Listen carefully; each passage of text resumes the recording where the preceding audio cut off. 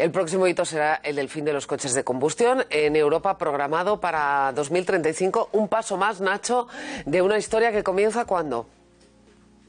Pues hay que irse bien lejos en el tiempo, Ana, hasta 1886, cuando se inventa el primer coche de combustión. No es el primer automóvil, el primero es de 1860, pero sí el primero cuyo funcionamiento es igual que el nuestro, con gasolina. Sin embargo, tuvimos que esperar hasta 1936, cuando se presentó el primer coche diésel producido en serie. Alcanzaba la por entonces aterradora velocidad de 100 kilómetros por hora. Poco después, en el 62, se liberó la patente del cinturón de seguridad, un elemento inventado en el 58 y que salva un millón de vidas cada década. Y terminó con 1997, la invención del primer coche híbrido, el primer paso para esta ya casi revolución del mercado del automóvil. Y un detalle, Ana, mira esta fotografía. Es la carga de un coche eléctrico en Nueva York en 1911. El invento no es nuevo, pero los costes de mantenimiento eran exorbitados. La gasolina era más barata y los motores mejores, y los coches eléctricos de principio de siglo se quedaron en los libros de historia. No parece que vaya a darse el caso esta vez, porque el coche eléctrico llega para quedarse. Nuestra compañera Ángeles ha salido a la calle para ver si los conductores están preparados. ¿Se ve usted con un coche eléctrico al 100% en 2035? Sí, sí, claro. Entiendo que a lo mejor hay vehículos que sí que necesitan un diésel, por ejemplo. Si me lo paga el Estado, sí. Por el cambio climático, para contaminar menos. Para lo que yo lo necesito, sí, pero para viajar lejos y eso, no sé. Yo creo que no nos va a quedar otra al final, ¿no? Para nada. Estoy de acuerdo con que se combinen los dos medios de locomoción los dos tipos de motor. Porque son muchos los inconvenientes que hay en cuestión de baterías. Y... Creo que no hay infraestructura para que todo el mundo tenga coche en 2035. Es bastante incompatible todo. Tienen que darle muchas más vueltas y buscar otro tipo de alternativas. Porque es inviable ahora mismo, absolutamente inviable. No hay dónde cargarlo, no hay infraestructuras, no es posible. La mayoría de cargadores suelen estar ocupados y si no tienes uno en casa, yo no lo recomendaría. Y en mi caso personal, seguramente no. Juan Francisco Calero es periodista de motor y presentador de Cargo carwow.es, ¿no? Correcto. Juan Francisco, buenas noches. David Barrientos es manager de comunicación de Nissan. David, buenas noches. Buenas noches. Y Ángel Gaitán es piloto, es perito judicial y propietario de GT Automoción. Buenas noches. Ángel. Buenas noches. Piloto yo no sabía que era. ¿eh? ¿Piloto no eres? Bien, ah, vale, vale. No, vienes, con la, vienes con la cazadora casi de piloto. bueno, el caso es que conocíais bien el mundo del automóvil. ¿Estamos preparados? ¿Podemos eh, pasarnos en una década al automóvil 100% eléctrico? Pues si queréis rompo yo el hielo y la verdad es que la, la, respuesta siempre sería depende, ¿no? Depende de dónde nos movamos, dónde estemos, en la Unión Europea, en España y dentro de España incluso en qué ciudad o en qué lugar estemos. Ya, lo que pasa es que nos lo están dictando por ley. Exactamente. El problema aquí principalmente, y podemos debatir durante horas, pero se demuestra en Europa que tanta es la tasa de penetración del automóvil eléctrico como poder adquisitivo hay en un país, porque precisamente todavía la oferta todavía flaquea hoy en día y los precios todavía están un poco por encima. Y luego hay otra serie de problemas que se según el país, pues se hace mejor o peor y en el nuestro se está haciendo bastante mal. Y desgraciadamente, bajo mi punto de vista, además, eso está provocando que empiece a haber una especie de animadversión hacia el automóvil eléctrico, porque el tema se está politizando, y lo cierto es que lo que debería de ser es una tecnología más, y el hecho de poner eh, fechas palmarias y de obligar a la gente a pasar por un aro que encuentra casi como una agresión no ayuda a popularizar la tecnología, ¿no? lo que no quiere decir que la tecnología sea válida, sea interesante y sea útil en el futuro. Desde mi punto de vista, la, tecnología está. Eh, de hecho, hoy en día eh, circular con un coche eléctrico es bastante habitual, eh, podemos hacer largas distancias, pero hay una serie de handicaps que todavía hacen que el coche eléctrico no sea demasiado popular. la infraestructura de carga es una de ellas. Somos un país donde no estamos apostando por esa infraestructura de carga, otros países sí lo han hecho. Y luego tenemos medidas que han tomado otros países, como puede ser el caso de Noruega, el caso de nuestro vecino Portugal, que es simple y llanamente una deducción del IVA en los coches eléctricos para impulsar un mercado mayor y está funcionando. Aquí nos dan el tren gratis. Aquí nos dan el tren gratis y nos dan otra serie de cosas y otra serie de bonos, pero donde tenemos que apostar de verdad para reducir emisiones, reducir economía, porque un coche eléctrico al final, a lo largo de toda su vida, es mucho más económico que un vehículo de combustión, es eh, apostando por el vehículo eléctrico. La tecnología está, lo que hace falta es que la sociedad eh, vaya hacia ahí y que los poderes públicos eh, de verdad se involucren en una, eh, en una apuesta decidida por el vehículo eléctrico. Pues yo creía que estaban involucrados. Em, Yo no estoy de acuerdo. Yo pienso, de- estoy de acuerdo con lo que ha dicho Calero, además lo suscribo. pero el tema del poder público, yo pienso que cuanto, no sé. cuanto menos se involucre, mejor para todo. O sea, al final, eh, creo que el vehículo eléctrico va a venir muy bien, eh, viene muy bien a los que ya lo utilizamos desde hace años, pero viene muy bien para unas condiciones determinadas.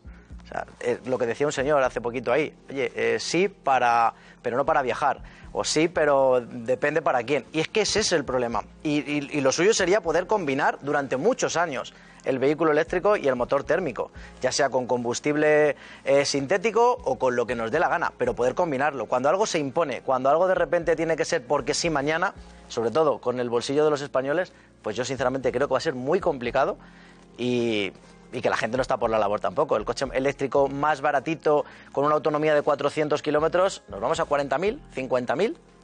¿Quién tiene 40 o 50 mil euros hoy en día para comprarse un coche?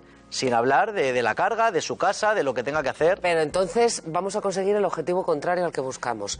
Es decir, em, si eh, queremos coches eléctricos para contaminar menos y la gente no tiene dinero para comprar un coche eléctrico, lo que va a hacer es que va a alargar la vida útil de su vehículo eh, 5, 10, 15 o 20 años. Y vamos a tener auténticas cafeteras echando humo por las carreteras porque no se pueden vender los que los coches de combustión, pero si tú tienes un coche, obviamente nadie te puede obligar a no usarlo. Es decir, por el centro de las ciudades no te dejarán Ah, te decir, pasar. sí te obligan a no ya, usarlo. Pero te eh, puedes ir por el campo a dar vueltas Pero ahí no se contamina. CO2 y Pero- nitrógeno pero y todo lo que te dé la gana. has puesto el dedo en la llaga, Ana, y es que la edad media de nuestro parque en España es 14 años. Pues fíjate, 14 años cuando y te subiendo, están diciendo que, que no debería tener más de 10. Exacto. Entonces, yo, yo eh, sinceramente, a lo mejor soy un poco más optimista en, el tema de la electrificación, porque trabajo en una marca que lleva apostando desde 1966 por, el tema de la electrificación. Sí es verdad que la industria y la sociedad necesita pasos intermedios. No, posemos- no podemos pasar de la noche al día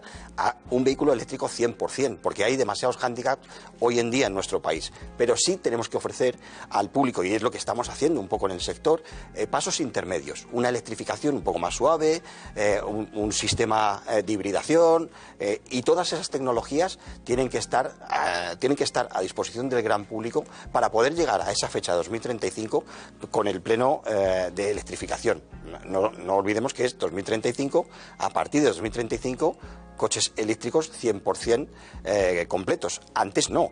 Entonces todavía nos queda una, más de una década. Y en el sector de automoción, una década es mucho tiempo. Yo sinceramente creo que no, que no vamos a llegar a, a ver eh, la prohibición de 2035. Hay que dejar claro que es una prohibición que atañe solo a la venta de automóviles nuevos. Los automóviles, porque esto es una confusión, igual que quién puede entrar en Madrid Central o no. A ver, se Eh, pueden fabricar y se los vendemos a Marruecos o a Túnez para que lo contaminen supuesto, ellos, es- pero nosotros no los podemos es comprar. así. es que esto... No los podemos matricular. Sí, sí. Pero la cuestión es que en España se está haciendo las cosas bastante mal y no lo decimos nosotros, lo dicen los propios fabricantes de coches. Respecto a otros países en los que ya se están vendiendo hasta un 20% de automóviles eléctricos de tasa, lo que tenemos aquí son unas ayudas que están muy bien y son muy jugosas, pero resulta que tardan un año o más, mucha gente se pierde en el laberinto burocrático. Eh, en otros países tú vas al concesionario y tu ayuda te la restan directamente del precio del automóvil que compras. España no, es una isla en toda Europa donde solo pasa eso. Luego resulta que viene Hacienda cosa, además tú también fíjate- tú fíjate, y te resta dinero. Decíamos, países como Noruega, que es productor de petróleo, el 80% de los coches que se venden en Noruega son eléctricos. Y solo, hace, ¿eh? y solo han puesto una medida, solo una medida, y es la reducción del IVA que hablábamos antes. Sí, hay hay dos maneras de incentivar el coche eléctrico. Una es dar ayudas que no tienes y que luego le quitas a la gente mediante retribuciones en especie, como pasa en España, o directamente dando deducciones fiscales. ¿no? Es que lo que pasa en Noruega es lo contrario. Es que los estúpidos compraron coches de combustión porque valen más caros que los eléctricos. O sea, es que no había otra manera de pasar por el embudo. ¿no? Pero yo creo que no tenemos que poner la excepción como la regla porque entonces confundimos a la gente. O sea, Noruega es un país extremadamente y el especial. poder adquisitivo de Noruego, de Noruego no es el nuestro. Estoy de acuerdo, pero, pero Portugal, y gracias pero Portugal no es un país, Portugal no es un país tan distinto a nosotros y en Portugal se venden muchos coches eléctricos. Insisto que al final lo que tenemos que ofrecer a la sociedad es un paso intermedio. Yo estoy de acuerdo en que eh, pasar de 0 a 100 eh, al vehículo eléctrico es muy difícil hoy en día en la sociedad española. Eh, pero insisto, eh, el papel de los poderes públicos tiene que ser muy Yo creo que los poderes públicos, vamos a hablar de un tema que, que es un poco escabroso y picante, los poderes públicos lo que deberían de hacer es eh, encargarse de regular qué va a pasar con los residuos de los vehículos eléctricos, cómo se va a gestionar las baterías cuando ya no funcionen, porque vosotros tenéis como marca, y te pregunto a ti, pero podría preguntar a cualquier otra marca, una, una especie de, de- de- de hoja de ruta, como para cuando un taller independiente desmonta una de vuestras baterías? Nosotros, yo- y, me encanta que me hagas esa pregunta, porque, porque justo nosotros somos de las pocas marcas que está eh, trabajando en la economía circular para que esas baterías no duren 10, 12, 15 años, sino que duren 50, 60 años. ¿Y cómo lo hacemos? Utilizamos esas baterías a modo de almacenamiento energético, porque al final una batería es eso, almacenamiento energético. Y esas baterías las estamos poniendo en centrales eléctricas, las estamos poniendo en estadios de fútbol, que eh, lo que hacen es proporcionar esa energía a ese estadio de fútbol o a ese... Sí. O a ese... Yo me compro un Nissan y de repente tengo un accidente con él y esa batería, el, el vehículo es mío, la batería es mía, eh, decido quitarla de mi coche. Esa batería tiene un mercado importante, por eso es que te estoy diciendo, porque hay un, un business adicional para proporcionar energía y esa batería del Leaf te la están eh, quitando de las manos. Eh, mm, pero no todas Sí, las marcas pero, tienen eh, ese- No, no, pero ya no es que no es que tengan. Esto es una opción que, que da el fabricante, pero no es una imposición. O sea, si esa batería está dañada y no hay un mercado para comprarla, esa batería contamina, esa batería tiene una gestión de, un resi- de ese residuo muy complicada, pero muy complicada, porque ahora mismo. Creo que hay en Alemania una fábrica que todavía, no sé si tú, Calero, sabes algo más. Hay una fábrica que está desmenuzando la batería y en función de, de temperatura, de, imanes, de filtros, van separando un poco tanto los gases que, se, emanan de- Porque al final lo que hacen es triturarla. Pero eso contamina una barbaridad. Y eso también hay que gestionarlo. Yo tuve en la Filomena eh, una entrada de agua eh, por la nieve encima de tres baterías que se estaban cargando abiertas y explotaron. Los bomberos nos precintaron la instalación. Nadie sabía cómo funcionaba, cuál era el procedimiento. Recuerdo que un bombero me decía, ¿esto es alterna o es continua? Y yo decía, ¿estamos así? Es surrealista, porque no estamos preparados. Y no estamos preparados ni para cuando haya un accidente. Sí, sabemos que hay que cortar el cable naranja porque hay unas tijeras y porque se ha hecho un pequeño curso y saben que hay que cortar el cable naranja. Pero cuando una batería está abierta, cuando una batería corres el riesgo de que explote, que, que con esto no quiero alarmar a nadie, pero, pero, no, pero pero te puede matar. Que, que no tenemos nada previsto, que es como, venga, corre Es hacia el vehículo eléctrico, sí, porque sí, sin prever todos los... lo que vaya a pasar. Cuando me pasó a mí lo que me pasó con la Filomena, eh, evidentemente me dicen, es que te pasan muchas cosas. ¿Cuántos talleres hay que tengan varias baterías abiertas eh, y las estén cargando o estén investigando con ellas? Pues muy pocos. Claro. Porque el desconocimiento genera miedo. Pasa lo que pasa, se llenan de agua, generaba un arco eléctrico de más de tres metros. Tú te acercabas ahí y te mataba. Entonces, ¿qué, qué, qué- cuál- qué decisión, decisión se tomó? Las estabas investigando. Sí, se echó sepiolita encima y se precintó el taller una semana. Venían cada día a medir en la parte alta la cantidad de, de gases que había, si eran contaminantes o no. Y cuando las baterías por sí solas se descargaron, entonces ya las tuvimos que meter en un sarcófago que costaba, no quiero decir una mentira, lo he contado alguna vez, no sé si 40.000 euros, lo pagó la compañía de seguros, un sarcófago para meterlas dentro y llevarlas a Portugal, que hasta entonces, en ese momento, era el único centro que yo encontré eh, donde podían tratarlas. Pero esto hay que contarlo. Y esto hay que estar preparado para ello. Porque va a llegar. Porque ¿cuántos coches hay eléctricos en España circulando? Yo no sé la cifra, pero entiendo que debe de haber un montón ya. Aunque Bueno, sea una cuota pequeñita, son miles. Sí. Sí, sí, bueno, es, es normal hasta cierto punto, porque lo que no es normal es que no haya protocolos de actuación, los bomberos ahora están aprendiendo, eh, etcétera, porque tampoco ha habido mercado, y si no hay mercado, pues no hay protocolos, no hay normativa ni nada. Lo que es la única normativa es la que nos obliga a ir hacia el automóvil eléctrico en el 35, ¿no? Eh, Entonces, al final esos queda mucho por hacer. esos plazos políticos obligan a la industria del motor a reconvertirse a velocidad de vértigo y es una industria importante en Europa, líder mundial en tecnologías diésel y en España también. De hecho, en Ford, en Almusafes, acaban de anunciar el despido de 1.100 personas porque no necesitan tantas para hacer coches eléctricos. Nacho. Una industria importante, Ana, sobre todo en España, donde supone el 7,7% del PIB, un 0,7% más que en la Unión Europea, y es un sector que sostiene el 9% del empleo español. El sector empezó el año con bastante optimismo y las previsiones de matriculaciones esperan crecer un 17%, un porcentaje significativo que va como en pie. En el mes de febrero, 74.000 turismos y todoterrenos se han matriculado en nuestro país. Los datos son buenos a pesar de la crisis de microchip, la incertidumbre económica a causa de la guerra de Ucrania y los problemas de aprovisionamiento en las fábricas. 2022 cerró el año con una subida del 5,8% en la producción de vehículos y un dato más, el sector del automóvil español tiene un fuerte impacto fuera de nuestras fronteras. Las exportaciones han crecido un 2,8% con respecto al pasado 21. Vicente Garrido es fundador y presidente de Lingotes. Vicente, ¿qué tal? Buenas noches. Muy buenas noches, Ana. Eh, Vicente, esto eh, yo te lo he oído decir a ti. Cuando salió el vehículo, no eh, decidieron acabar con los coches de caballos, simplemente les quitaron de las carreteras. Cuando nació la electricidad, no decidieron cargarse las velas, de hecho se siguen vendiendo velas. Eh, esto te lo escuché a ti hace unos años. Ahora que los plazos son mucho más acuciantes, que tu empresa es una empresa eh, muy importante a nivel europeo de la industria auxiliar del automóvil, ¿sigues pensando lo mismo, que vamos demasiado rápido, que estamos forzando demasiado las cosas? Exactamente sigo pensando lo mismo, solo que ahora veo el problema más grave todavía. ¿Por qué? Eh, yo me ¿Perdón? No, no, ¿por qué lo Sí, más porque- grave? Lo veo más grave porque parece ser que está más cerca, pero yo creo que va a volver, a- se va a volver un poco a reconsiderar.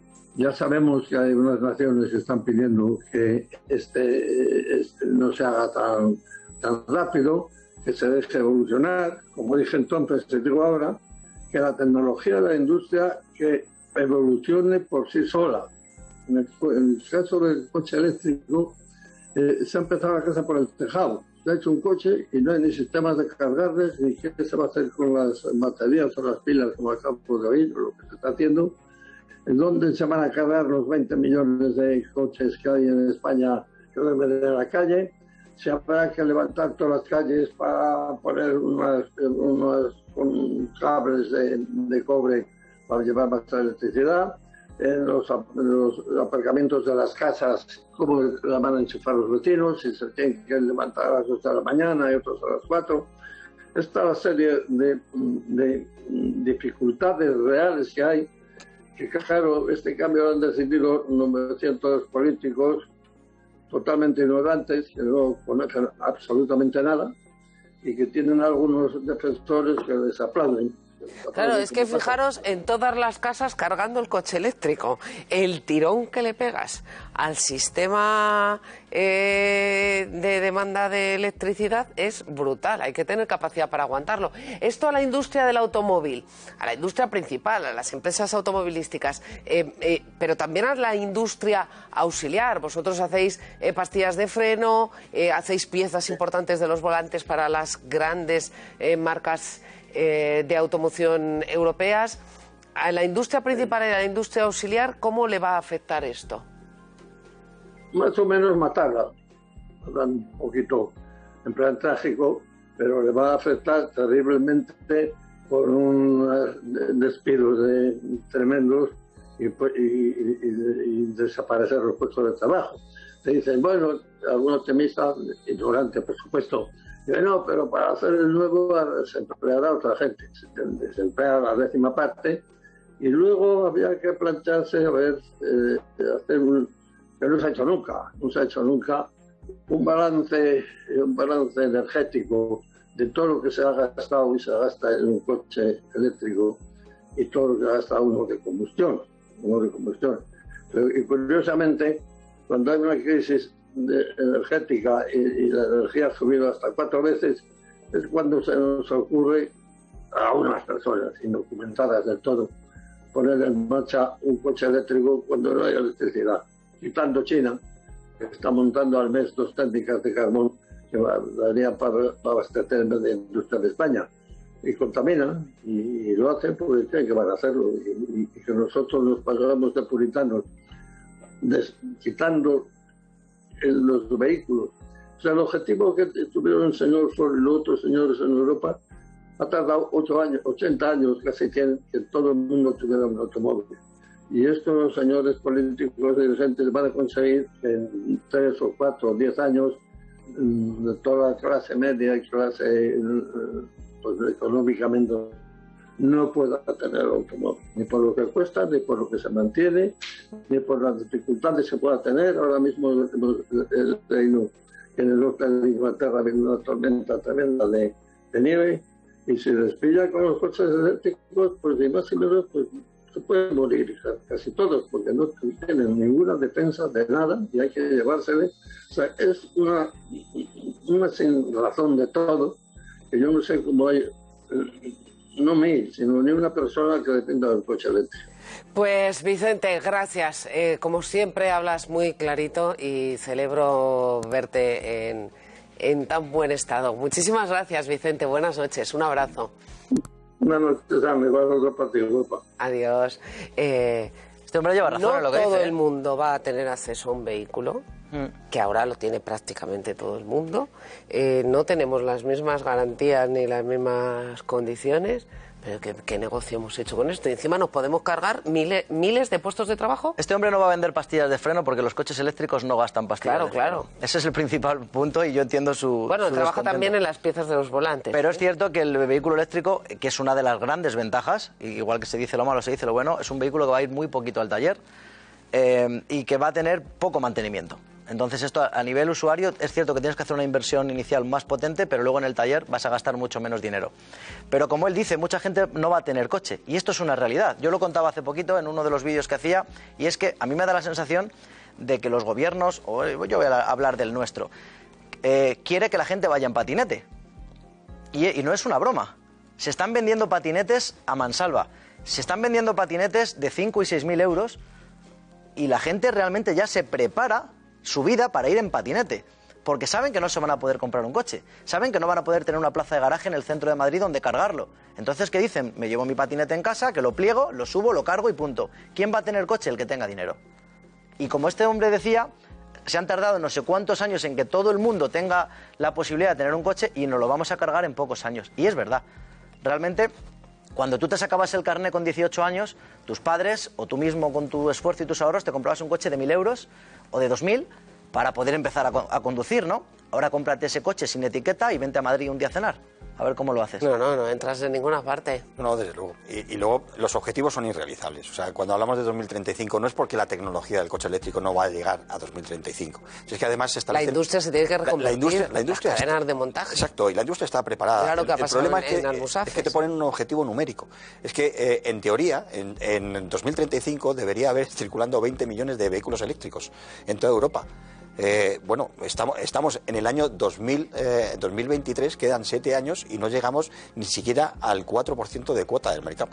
Por lo tanto, es, es imposible, es, es irrealizable llegar al 2035. Pero es que es más, el sinsentido de la normativa, eh, ahora a la industria se la obliga con una normativa para mejorar aún más los motores de combustión, la llamada Euro 7, para que hacerlos mucho más eficientes. Cuando te están diciendo que en 2035 ya no vas a poder vender ese Has coche. tenido que ir mejorando la Entonces, tecnología diésel. claro. Has tenido que ir mejorando el Tú dices, combustible ¿para- para, para que contaminara cada vez menos. Has hecho un esfuerzo de I más D brutal y te dicen, pero esto es para un par de añitos, ¿eh? que Exacto. luego te lo Luego quito ya- en medio. exacto. Si el problema es ese, que, que- que juegan con todo los, los políticos. Juegan con que mañana se levanta uno con el cable cruzado, que tiene un poder brutal para decirle a un fabricante, ahora, mm, venga, ahora te dejo que sigas con el diésel y dirá, pero es que he dejado de desarrollar diésel hace un año porque dijiste lo contrario. Pero no faltan siete años, faltan doce. Pero que con esto te cargas una industria que es la industria europea del automóvil, que era una industria que podía hablar de tú a tú a otras industrias multinacionales y que tenía un peso, un arraigo y una capacidad de crear puestos de trabajo en toda Europa brutal. O sea, más allá del vehículo en cuestión, es que es una industria muy potente. En España la primera industria exportadora con la agroalimentaria. No, y es un problema, yo por intentar avanzar un poco más en el debate, yo ha- hace unos días publicaba un vídeo en el que contaba cómo Alemania ha vetado eh, en el último segundo, cuando había que firmar el documento, eh, la prohibición del 35 porque quieren añadir los combustibles sintéticos. Es una cuestión de consumo doméstico de Alemania, quien, que es, es quien en parte nos ha empujado a esto, también hay que contarlo. O sea, esto es una sobrereacción al Dieselgate, es un barco Alemania que está zozobra. pagando su culpa Eh, por mentir con los bueno, motores pues trucados. Ellos ex- expían, su culpa, todos. expían su culpa con nosotros, puesto que es el país más potente de Europa, el barco zozobra en una dirección, se va a la otra, que es el vehículo eléctrico, y ahora es la mismísima Alemania, que es la que más dinero se juega con esto, quien empieza a verle las orejas al lobo, y dice, un momento, señores, no, no, esto que dijimos, vamos a debatirlo. Yo solamente quiero decir, para que la gente lo sepa también, yo pensaba que todo esto iba a tardar un poco tiempo más en explotar, estoy convencido que el 35 no será el fin para los térmicos, pero que la propia Unión Europea, como no se creen a, a ellos mismos, es- esto es un palo en la zanahoria para intentar acelerarlo, en el año año 26 se han inventado una cosa que es el handbrake, que es el freno de mano, que es decir, que en el año 26 ellos mismos se quieren hacer un consejo para reunirse y decir, vamos a ver cómo están estos señores y si realmente somos capaces de llegar al 35. Estamos en el 23, tenemos una crisis energética, el porcentaje del precio del litio ha subido un 700%, cuando había la idea de que las baterías y su precio van a bajar de una manera continuada sin freno y nos estamos dando cuenta pues que nos estamos metiendo en un callejón sin salida y como muy bien dicen algunos popes de la industria del automóvil como Tavares, por ejemplo, del grupo Stellantis, al final cuando ustedes vean barricadas y neumáticos quemándose, porque hay miles y miles y miles de puestos de trabajo que se van a perder, entonces probablemente cambiarán. Y exactamente ese es el punto en el que estamos ya es demasiado tarde. ¿eh? Efectivamente, porque Es que además ese es el problema. Hay, hay que contar además que, que, eh, nosotros, como dice un muy buen amigo mío, Álvaro, fabricábamos y éramos especialistas en hacer relojes de cuco, que son los motores de combustión interna, en hacer coches de lujo, en hacer tecnologías que nadie más podía hacer. Y lo que queremos hacer es cargarnos una tecnología en la que éramos líderes mundiales para abrazar otra en la que no tenemos ningún tipo de expertise tecnológico. Y le estamos abriendo la puerta a un mercado como es el asiático, no el japonés, sino el chino, en el que lo teníamos completamente controlado puesto que estábamos muy por encima. ¿no? Así que lo que viene ahora también es, como ha pasado en la telefonía móvil, es que si nadie lo remedia, en los próximos cinco años nos vamos a plantar con 12, con una docena larga de marcas de coches chinas en España y el panorama va a cambiar radicalmente. Y entre medias, pues va a haber todo este debate que creo que al final acabará concluyendo de que aunque el automóvil eléctrico no va a dejar de seguir penetrando, porque la tecnología es imparable, pues creo que los políticos acabarán tomando eh, un poco de conciencia cuando vean incluso que su propio puesto eh, al, hilo, peligra. al- al hilo, al hilo de esto. Sí, ya para terminar. Fíjate lo que ha hecho Estados Unidos. Estados Unidos está protegiendo a su industria. Claro. Pues, ¿por qué eh, queremos ser más papistas que el Papa en Europa? O sea, tenemos que llevar un desarrollo controlado, sí, con unos objetivos, pero con unos objetivos que sean. Pero es que España, España quieren que no tengamos industria. España quiere que seamos un país de servicios y, la- y las grandes marcas de vehículo eléctrico. Yo separaría ya, si quieres, para terminar, que hay dos tipos de vehículos eléctricos, porque esto también hay que contarlo. El vehículo eléctrico de lujo, que es un vehículo eléctrico que no tiene nada que ver con el normal, el vehículo que vale más de 100.000 euros, 200.000 euros, y el vehículo eléctrico que va a venir ahora, que vale 8.000. Entonces, mm, las marcas eh, han hecho, Elon Musk lo ha dicho en alguna ocasión, Tesla, él quiere llevar esto un poco como, como hacía Apple con los móviles. Hago este móvil y a los dos años, olvídate de él, porque te voy a sacar una actualización de software para que te vaya peor y te vas a tener que comprar un móvil nuevo. Y con un móvil de 1.000 euros todavía lo podemos entender, pero con un coche de 150.000 ya no es así.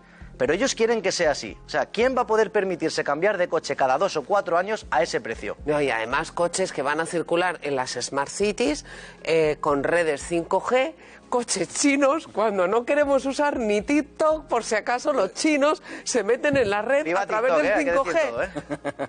Yo hoy venía Nos leyendo... eh, Pero esto es un disparate, ¿no? Venía Eh, leyendo un artículo, venía leyendo un artículo del año 16 antes de entrar aquí, hace siete años de eso, que nos vendía que en el año 25 todos iríamos por las ciudades ya con coches autónomos eléctricos y que no sería necesario ni ser propietario de un coche y volando. para, Y ya para tendrán la circular información los chinos de tu coche circulando y de lo que hablar dentro. Ya hubo una película han hace no mucho donde nos conducían el vehículo. Y esto no es ninguna locura. La ciberseguridad existe, los vehículos ya la, la tienen incluida, porque cualquier hacker va a poder conducir tu coche. Pues volveremos a hablar de este asunto porque me habéis dejado con muchas incógnitas, muchas preguntas sin resolver y muchos temas interesantes sobre la mesa. Pero hoy se nos ha acabado el tiempo. Gracias a los tres por estar esta noche A aquí con vosotros. nosotros.